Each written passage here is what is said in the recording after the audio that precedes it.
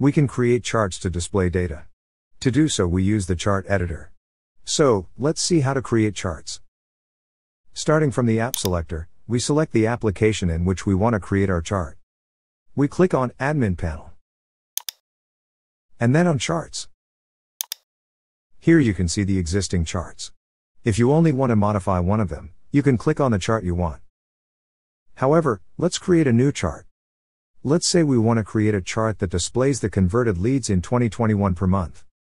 We click on New Chart and select the type of chart we want to create, in our case generic. We enter the name of the chart.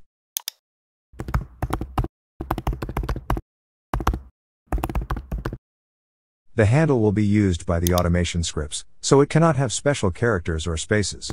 We will enter the name of the chart without special characters or spaces. We can choose a color scheme for the chart. For example, let's type T to speed up the search and select Tableau 10. Then we select the module which contains the data that we want to display on the chart. We select lead. We can also filter the data by using the filter options. In our case, we choose to show the data related only to the current year. The filter may also be customized. We do that by adding and status equals converted to show only the converted leads.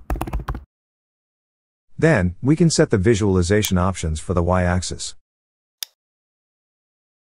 We can use the log scale or place the axis on the right side if we need to.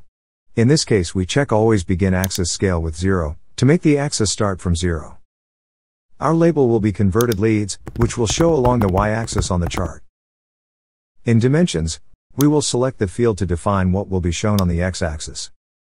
This drop-down will contain only the data types that can be used as values for the x-axis.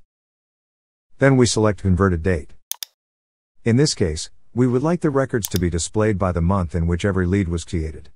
As function we select month, which will allow us to display only the months of the converted date records on the x-axis. Also, we want to skip the missing values. In metrics, we will choose which data and how that data will be processed, to be plotted on our chart. First, we choose the function to process our data, we pick count, which, in this case, will count the number of records. Then we select the chart type, in this case we select bar. Let's see the preview by clicking on load data.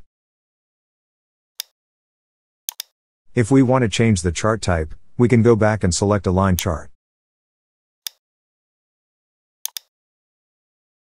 In some cases, we may also want to fill the area below the line chart. We do so by using fill area below the line. Also, we want to show the tooltips to display the number of the converted leads on the chart. And we click on load data.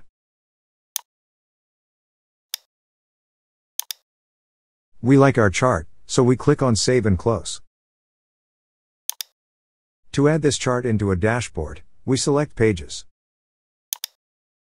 And then the page where we want our chart added. For example, home. We click on Page Builder. Then we select Add Block. And then Chart.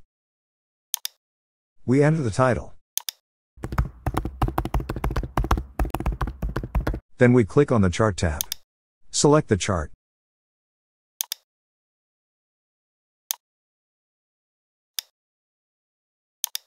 And add the block.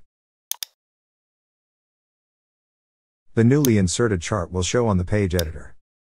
We can now move it where we like and resize it if needed.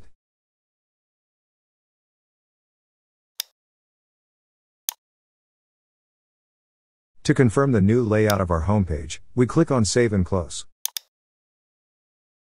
Our chart now will show on the homepage.